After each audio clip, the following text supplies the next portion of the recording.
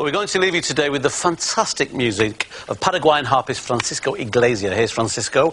And this tune is from his album Shimmering Harp. Get details of this on the teletext page, which is 619. It's called Bellbird. It's fascinating. Thanks for watching. See you tomorrow.